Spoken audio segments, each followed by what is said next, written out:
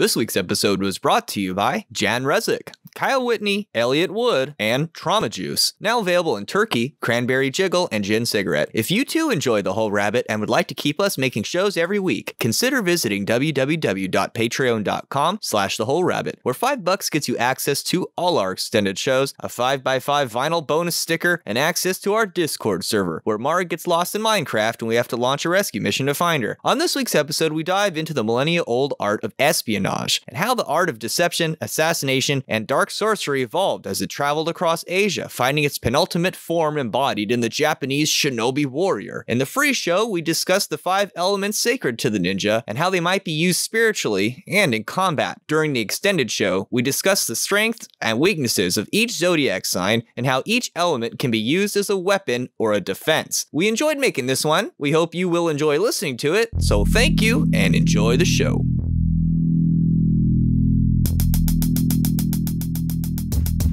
It's been a week. I think all my trauma juices are flowing, so All your trauma juices are flowing? Yeah.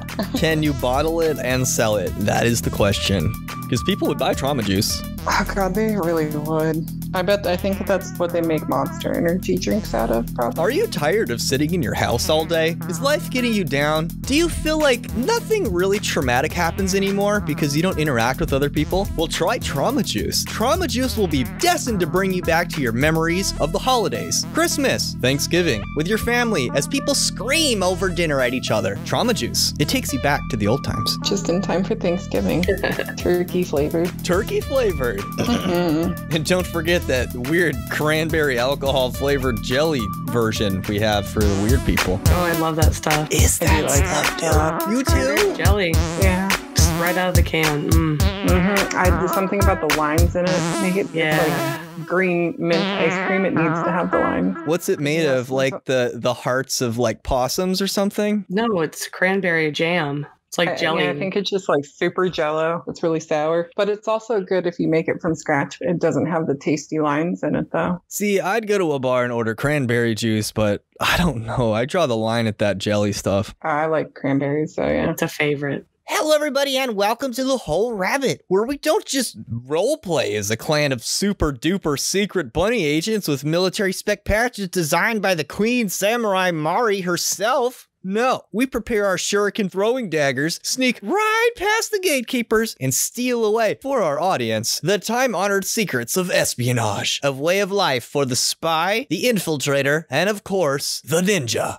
who we will be focusing on because really nobody does it better than the ninja. They sort of took everything that had come before and basically ascended to the pinnacle of badassery, I think is the technical term. I, I like to say that they were the you know history's first real dedicated hackers. Yeah, they infiltrate, inspire, and, or collect information. Actually, the original meaning of the name scout, like they were a type of soldier that were scout. They were sent to scout out Mm. enemy territory. All the hackers I know are really into methods of travel, so they're pro- it's in their it's in their DNA at this point. This is where I really want to just stick my flag in the ground and be like, hey, this show talks about conspiracy and it talks about the occult, and I'm not afraid to do it because the idea of espionage goes all the way back to the mother of civilization. And you need spies in order to keep order in any civilization. And those spies have to infiltrate everybody in every group, especially groups that have the power to influence reality and change people's minds and opinions. So that includes artists, musicians, and occultists. So while occultism is not necessarily leading to espionage, espionage almost always leads to occultism. I just want to say it, it- it's it's okay if you're into conspiracy theory. I don't really like it when you fucking Nazi socialists come on my my thing and start telling me to read the the learned protocols or whatever. Because you know what? It's a piece of espionage too. And if you don't know your espionage, you're going to get led into some weird thing that goes nowhere and it's going to throw you off and you're going to expose yourself. And yeah, it's a tricky world. And nobody has navigated that world better than the ninja. And so we have a big exhaustive list of stuff that the ninja practiced and thought about and that you can too if you want to defend your mind castle. And who doesn't Yeah, love no, I- ninjas? They're so super cool, but they were popularized recently, but they're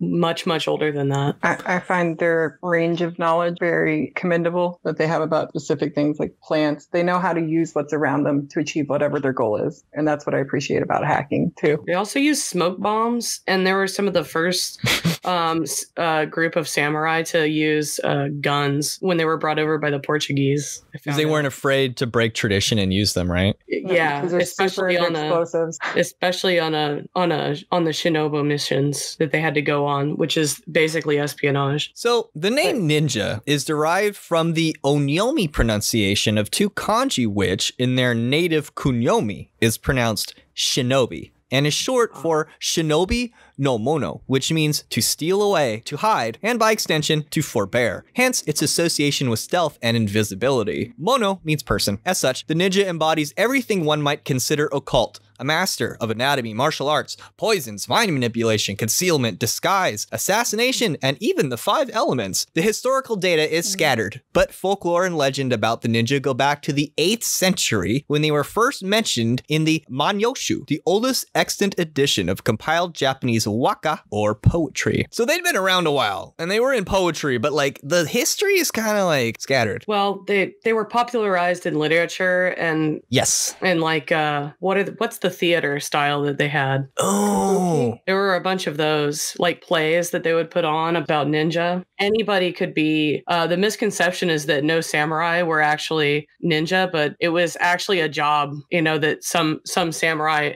had to do. And then also thieves were very good at the traits needed to be a shinobi. So a lot of times you see thieves joining the ranks or forming their own group I- for like mercenary work. A lot of the times. Yes, depending on the time period, and we will talk about this, it just it could refer to anyone who is whenever fuckery was afoot, it was ninja. And, and it, and Yeah. it was, it was kind of like how the thuggies became like our word for thug. They, there was this association with crime, and also because they didn't follow the daimyo. So there's actually it's not an honorable fight. I, I don't really know my movies that well, but from what I understand, was that the Seven Gunslinger were adapted from the Seven Samurai, and there seems to be like a Mhm. a one to one comparison between the idea of the Wild West gunslinger and then the interscene warfare period of Japan and the ninja, and even the thug. This idea of like you go out and get what's yours or really not yours by stealing from the local daimyo right? The local ruler, and making a clan for yourself. Anyone who's played Red Dead Redemption 2, that's what the game's about. I mean, I'm a gamer, so I've. Then I, I some- watched my roommate play that one, yeah. And then some clans were specialized in this kind of warfare. Yes. So then you would have alliances for them because, like, maybe some clan was good at being warriors, like honorable warriors, and they didn't want to, you know, dip their hands into that business. So then you would get, you know, they would pay off the clan to work for them to infiltrate or take down another clan. So it was very much like Wild West stuff. Yes. The feudalist Japan. And then when the Edo period hit, they, everything changes. I like that they're like cowboys and Indians almost. What do you mean with the samurai? Yeah, Fit into yeah The samurai. but you never but but the fact that they actually switch sides sometimes sometimes That makes sense though. Like the, the Indians did come off like as the noble ones with like the code of ethics, where the cowboys were just like, we do what we want, pow pow pow. yeah and they were apparently very good at like illusionary type magic like they would use smoke bombs and fireworks mm. as deterrents actually the ninja star that you see like publicized they usually only use that in rare circumstance as a distraction before they would like run in and kill you but po- Yeah, because uh, it's like you, you see that fly into a wall and you're like, is this? someone just tried to kill me. Oh my god and then And you're dead. you go look but at it because it's the coolest sup- thing you've ever seen. they're not supposed to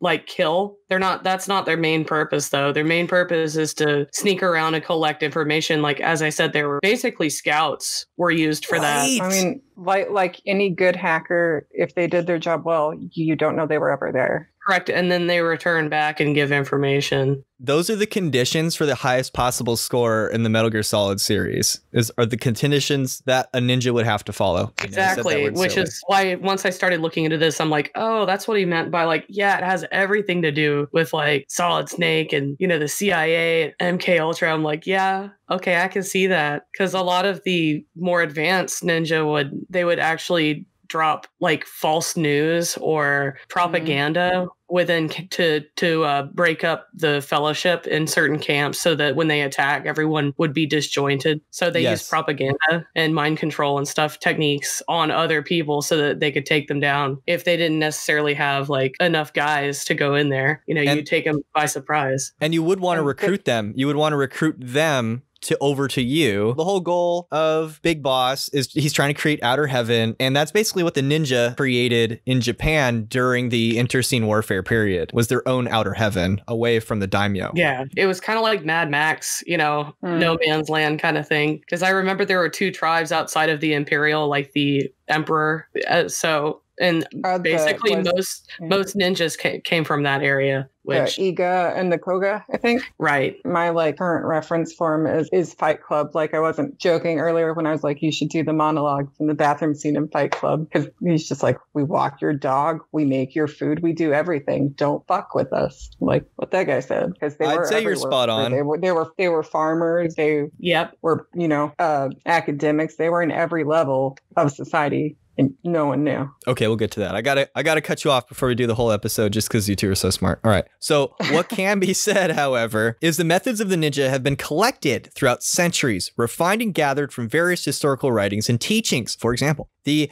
Arthashastra is the ancient Indian treatise on politics written in Sanskrit from around 200 BC and regularly updated through 300 AD until it would get lost and found various times until its recent reappearance just over 100 years ago when it was translated into English. And while the text concerns a great number of things relevant to statehood, such as welfare, taxes, public building projects, and the duties and obligations of a king, there's also a lengthy description of how the state ought to create a secret service with the aims of testing the integrity of government officials, spy on cartels and population for conspiracy to monitor hostile kingdoms suspected of preparing for war or an active war against the state, to check spying and propaganda wars by hostile states, to destabilize enemy states, and to get rid of troublesome, powerful people who could not be challenged openly. The Arthashastra is explicit that these networks and methods are to be used against traitor and the unrighteous of character specifically. And then the very last page just says Epstein didn't kill himself. This show really, if you found this show, it's probably because you're on a watch list, dude. This nobody should be allowed to hear this show. We're just letting it all the out, man. watch list. That's got to be true. The first episode it recommended to me was MK Ultra, and I was like, "That sounds great." I mean, really, really love hope I got some of you gnarly government agents that listen to this show. I do. Please tell your friends. I got nothing. Don't fuck with me, dude. In fact, If you're tired, come on the show. Oh. yeah, when you're retired. Oh yeah, or just come on the show as a guest. Feed me some really juicy disinfo. do- I'll share with the audience, Some and my audience will have. modification, not a problem. But yep, the UFOs are coming in one year. They will I- issue black I- credit cards to everyone. If I ever have to give like an interview where I'm pretending to not, not be being, I'm just going to be Rusty Shackelford and be like, Oh yes. kid. Shisha. The roles and guises recommended for the Vanyana or appearance agents by the Arshathatra include ascetics, forest hermits, beggars, cooks, merchants, doctors, astrologers, consumer householders, entertainers, dancers, female agents, and others. It suggests that members of these mm. professions should be sought to serve for the Secret Service. So if you a hoe, there's a chance. The CIA has contacted you and been like, you want to be a hoe for the government? But maybe oh. Feel about dosing people with LSD. and then asking him how how high the airplane really flies. And they just Ooh, go, on it doesn't some. fly at all. It the Earth is flat. But I know I know some other guy that uh is super crazy that my other friend hangs out with. And uh my friend is pretty convinced this guy's CIA, but he does all Mhm. sorts of weird shit. See, I, I I legitimately have been in the big air quotes information security community for since I was like 17. So yeah, I've met some people. yeah, and he's into cryptocurrency, which is why I like to talk to him. But it's like those people are so great. strange. And he has all this crypto Mhm. money, but he lives in like a crappy apartment and like he has a regular car and drives around with his chihuahuas in the car and he's just wearing like a regular sweatsuit. Like, don't dress like you're rich is another thing I learned. It's ninja, another ninja trait is to blend in with the crowd. If you Yes. can't hide in the shadows, mm-hmm. Arshathatra 11.1 says to undermine a ruling oligarchy, make chiefs of the enemy's ruling council infatuated with women possessed of great beauty and youth. When passion is roused in them, they should start quarrels by creating belief about their love in one and another by going to another. I might have added one too many others but you get the idea by just basically creating drama. So wait, Mm. is that from the point of view of like send someone in to seduce them and then tell them to go sleep with their friend and just Yeah. mess everything up? Okay. Create as much drama as possible. As early as 453 BCE, China was embroiled in its Warring States period, which produced the brilliant military strategist Sun Tzu, who wrote the Ping Fa, or Art of War, which is one of the earliest known texts to include an entire chapter devoted to the use of secret agents and leveraging one's psychology to achieve victory in battle. Know the enemy and know yourself, and in 100 battles, you will never be in danger. The Warring States period also saw the rise of various groups of master assassins and secret agents, the most feared of which was the Moshe Nanren, who actively cultivated people's fear and superstition to bolster their legend, disappearing their enemies in the black of night, killing without leaving any wounds, the Dim Mak or death touch, and encouraging the belief that they were descendants of the mythical clan of forest demons known as the Lin Kuei. And if you happen to have the same childhood I did, well, you know that Sub Zero is from the Lin Kuei in the Mortal Kombat series. Kind of a big deal. Oh. Yeah, he's he actually becomes the Grand Master. But he's he's Lin Kuei. Likewise, the shinobi would later follow suit and encourage the population to believe that they were descended from the Tengu. That's like their big terror bird, kind of, right? Yes. So the Tengu are a legendary spirit of Japanese mythology said to take the form of a giant bird man, like the rapper, that pretends the coming of war. If anyone is familiar with Howl's moving castle, it sounds a lot like the form that Hal takes when he's going into battle. After some time, the Tengu demon went from being uh, purely a cause of havoc to being a protective spirit of the mountains and forests to which were home of the Yamabushi, a class of Japanese ascetics who lived in the mountains and were long fabled to possess supernatural powers. As such, the Tengu are most frequently depicted in the Yamabushi's distinctive costume, which includes a small black cap tokin and a pom-pommed sash, yugesa. Due to the priestly aesthetic, they are often shown wielding a shakujo, a distinctive staff used by Buddhist monks. I feel Oh. like they also have a certain haircut for some reason. Yes. But I also want to say they're very clearly Japanese Mothman. And so the ninja are like, we are the Mothman. That's us. That we're the demons. So let's say you are a bunch of human beings that are, you know, running a little operation, right? And you want to be more feared. Well, you might want to spread rumors that you're actually an ancient descended race of dragons that likes to eat children. But, you know, maybe you do, maybe you don't. It's hard to say. What's info and what's disinfo? What's real and what's not? According to the Konjaku Monogatari, of which 28 volumes of the original 31 still exist, the Tengu by the 11th century have developed an important position within Japanese Buddhist folklore as they were known to abduct Buddhist priests, shapeshift into the Buddha to delude monks, and tempt seekers with supernatural power instead of the arduous path to spiritual enlightenment through the Eightfold Path. In one story, a Yamabushi mountain priest cures a sick emperor, but the emperor's resident priests become suspicious and start chanting at him. Hurtling to the floor, the Yamabushi cries out for forgiveness. All these years I've worshipped the Tengu and prayed to them to make me famous. But what an awful mistake it was. Poor guy just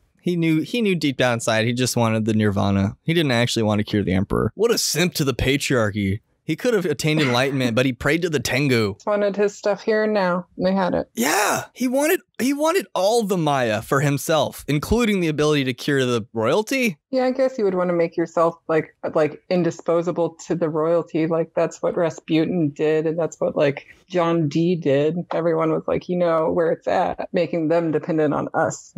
Those are two beautiful examples because we know Rasputin liked to he wizened himself some sort of a mystic. He was really just a guy that like clearly could withstand intense states of pain and ecstasy in amounts that I think would kill most people. Apparently he had a huge penis and he did insert himself into the business of the Sorry. The czars the czars, you know, pretty deeply over and over again. And then you have John Dee, who, when you study his works, you're like, am I studying the occult or am I studying like a secret codified manuscript that's meant to be an intelligence piece of literature between two spies or whatever. Like he he was a spy. John Dee John Dee created the underpinning like the the fucking foundation of the western esoteric tradition in terms of channeling the Enochians. The Golden Dawn took the Enochian stuff and like put it on their tablets. Crowley worked on it and the, we got the vision and the voice out of it. That's why I feel justified in saying what I just said. But he also created 007. That was how he signed his name.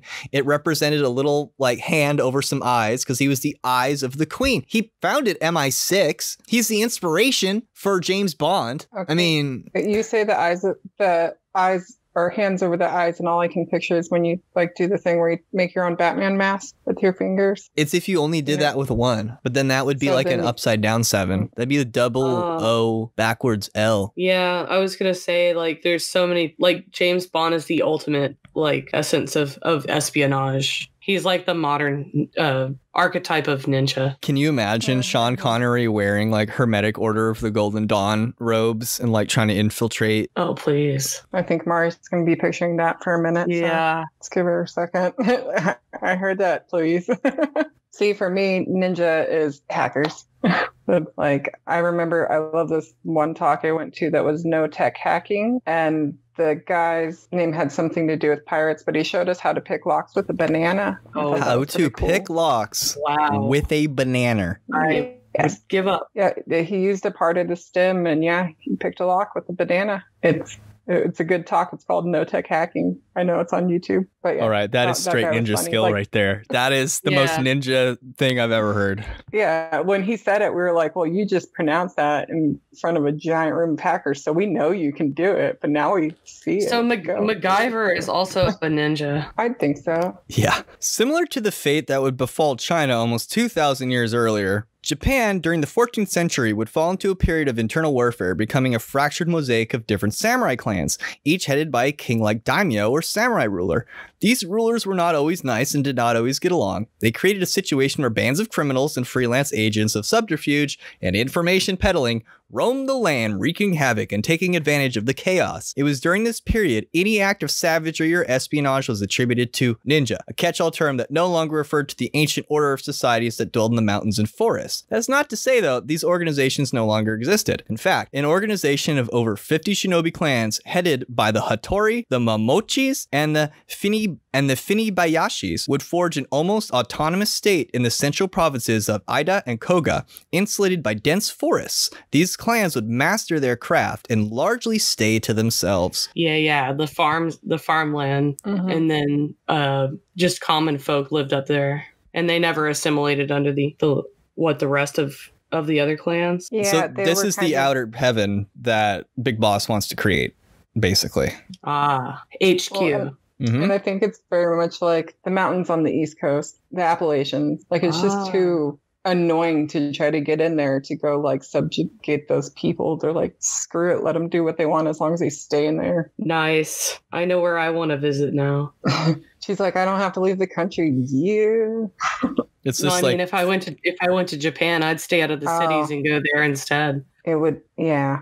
I, I would wander around in their forests probably too. In the mid 1500s, Shogun Oda Nobunaga, with his two generals, Tokugawa and Toyotomi, invaded these regions and indiscriminately began eradicating all shinobi clans, sowing discord with organizations that may have previously left him alone. It was not long after his invasion of Aiga that Nobunaga was assassinated by one of his own men and would be succeeded by his general Toyotomi, who would succeed where all others had failed and unite Japan under his rule. Not unlike Saddam Hussein and Joseph Stalin, Hideyoshi Toyotomi rose to power through the ranks, beginning his career in a band of ninja highwaymen, then as a spy who would become a trusted advisor to Nobunaga, then general and eventually emperor himself. It was during this time of unification that the era of samurai would come to a close, and like Darth Vader, Toyotomi would continue his conquest of wiping out the ninja he himself had risen from, driving lesser groups into extinction and necessitating the banding together of the defiant remaining few into organized crime syndicates that would evolve into the Yakuza or Japanese mafia of today. Wow.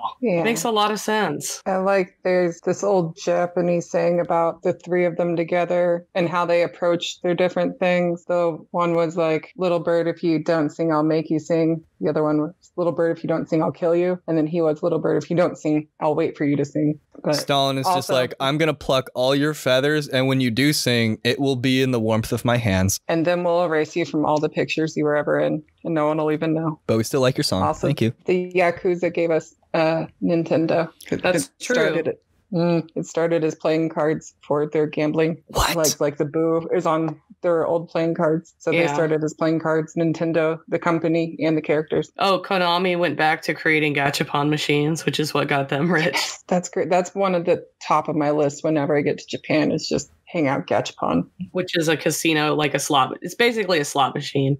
That's pachinko. Gachapon is like the little Well, capsule. Yeah, but it's also you know you, you could, they're also used in gambling parlors, oh, okay. which Yeah. where you would play pa- games like pachinko, and there's other you know games you could play like mahjong. Mm. It's part of the casino. I like that some states here in America actually have outlawed claw machines as a form of gambling. Oh man, it kind of is though. It is. Yeah. I was like, well, you're not wrong. When they took gambling out of Pokemon, I had enough. All right, listen. Rona the Time Witch is the only human being that has ever proven to me that those machines can be won, and he's he's prolific at it. It is possible to win things from those machines, and I know because he can do it. That's all I have to say. I wish I could. I'm really good at the beanie baby ones, like those smaller things. And when I was a kid, like the one point in my life that we got uh, allowance, we would go to this Jungle Gems Playland. And when I ran out of money, I would go over to that like candy crane. Because if you went up to it like right after someone walked away and you wiggled the thing real fast, it would think you didn't get any candy and you could play again. You didn't pay them for it. Cool. You are a hacker. Yeah, uh-huh. I opened with that. I'm into it. I like it. It's fun. I had my emails hacked too after doing the show. Anyway, I'm going to continue.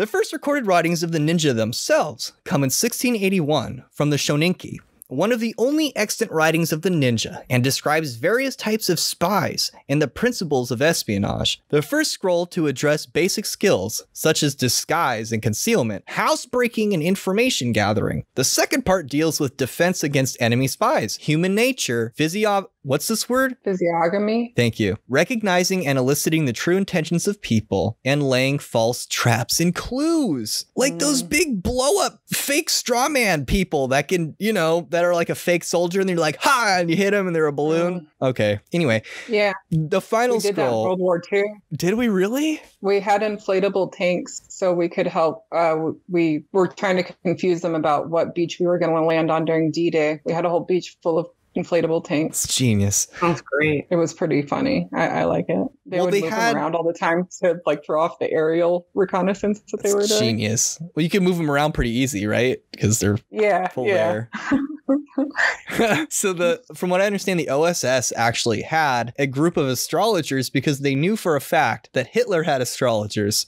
So Mhm. they thought if they could like get the same read that his astrologers were getting, they could predict his movements. And it actually worked. They got uh, one of his generals. We'll save it for the World War II episode, which we'll get to someday. Got him to parachute like what into I think Scotland. I hope I didn't get that wrong. With like he was covered in like all these occult sigils because they they tricked him into thinking that he was had some sort of deal or something, and then they just arrested him. But they used like so yeah, the OSS used occult spies in Oh, World yeah, War II, and some people I- I think think.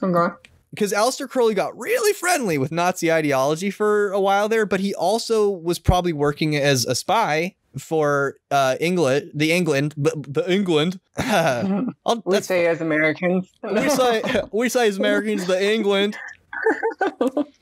Also, I He was Charlie working just for talk- the England. He was exposing. He was exposing the Nazis. What had happened was no. Okay. Uh, my one fun OSS fact is that um, Julia Child was in the OSS. Oh, cool. Right? I was like, lady, you were already neat enough, but like, way cool. She seems very capable of anything she might choose to do. Also, I don't know if we said this already, but the OSS was what later became the CIA. It was the Office of Strategic Services. They also initiated uh like MK Artichoke and Mockingbird and the MK Ultra project. You can Yeah, Google that Project- yourself. Acoustic Kitty.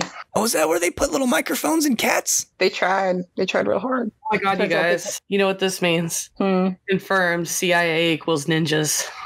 Yes. Wait, don't Yeah, cats vibrate? They purr. That, that's purring.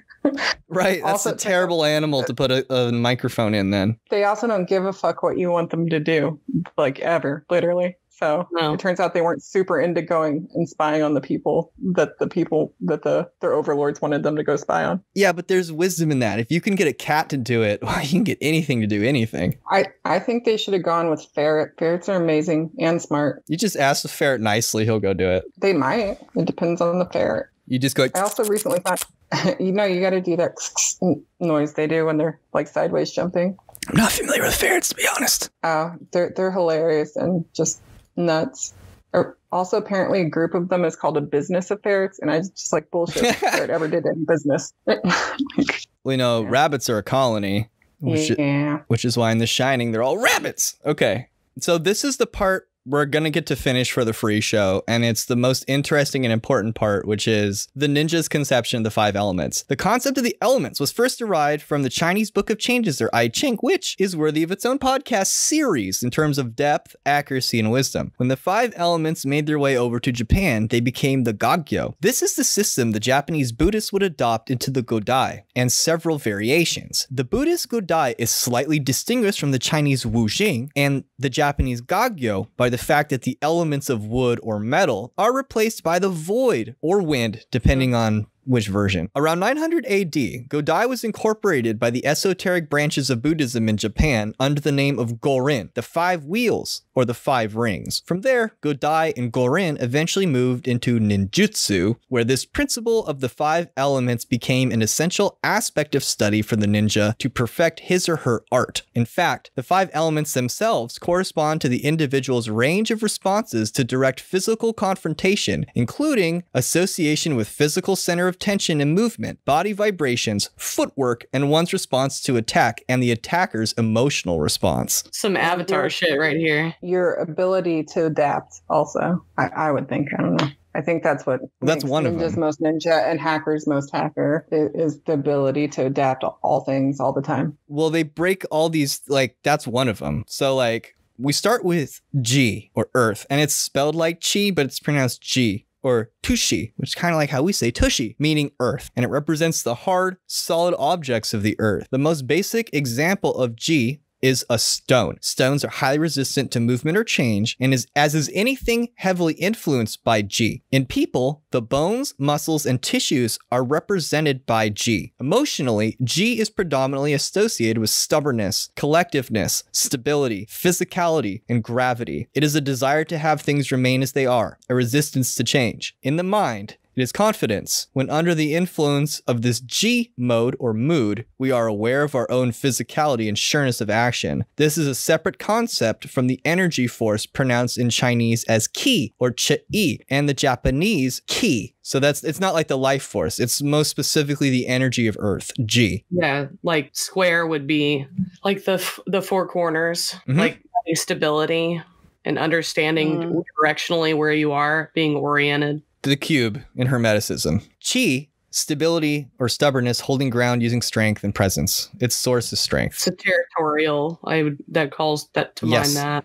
Mm-hmm. Now, I don't know if I'm going to pronounce this right. I might need Mara here to help. I think it's Sui, Sui, Sui or Sui? Mizu. or Mizu, meaning water, and it represents fluid, flowing, and the formless things in the world. Outside of the obvious example of rivers and lakes, plants are also categorized under su- Sui. As they adapt to their environment, growing and changing according to the direction of the sun and the changing seasons. Blood and other bodily fluids are represented by shui, and mental or emotional tendencies toward adaptation and change. Shui can be associated with emotion, defensiveness, adaptability, flexibility, suppleness, and magnetism, defensive angling and footwork to overextend the attacker before counterattacking. Its source is power. Mm. So that's when like you you like kind of get into range of the bad guy and they like swing their sword a little too early and you like step back and then you out. stab them in the face. Yeah. Oh, I also read the story of a like there was a clan that uh, they would basically keep trying to fake out a, an attack every single night, and they waited for about five nights till the enemy was um, tired of being woken up by fake alarms, and then they attacked when everyone was disoriented and half asleep. Which like deprivation. Like, yeah, that would be a, a technique, like a water based technique. Or maybe even Ku for void because that's really clever and inventive. Yeah, but I just I like that they uh they use the mood. You can create a mood. Oh, you're right. The mood. Yes.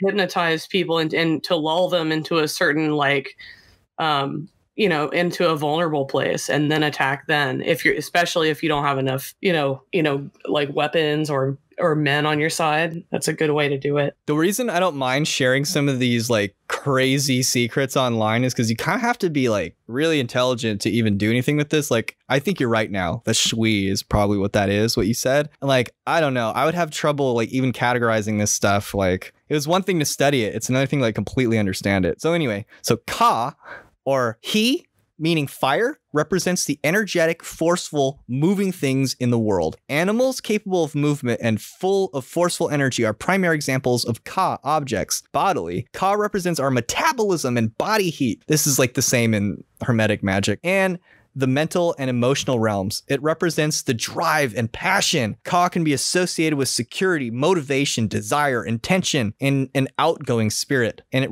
it uh, corresponds to aggression and fear, using high energy attacks defensively. So this is like the classic, like swinging your uh your uh nunchuck around really quick, and everyone's like, "All right, screw this, I'm out of here." Mm. like offensive highly offensive fighting like Well, the The whirling crap. dervish, yeah.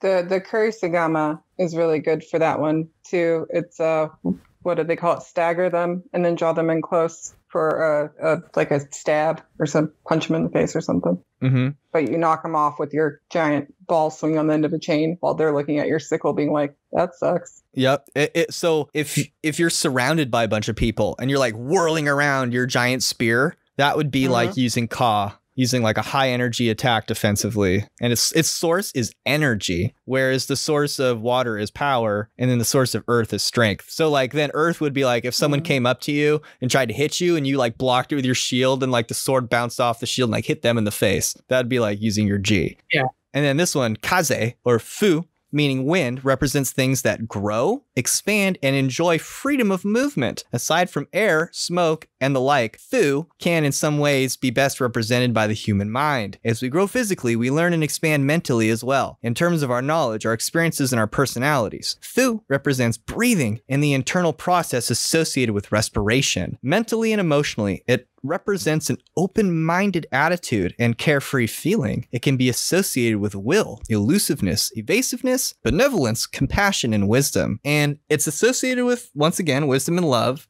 Evasive, elusive methods that redirect energy away from their target, and its sources resiliency. I guess that'd be like, uh, what, an Aikido? Is that the right thing? Or where, like, I don't know. Yeah. If it, where the people come at you and you use their own energy against them and you just like whoosh, flow out of the way?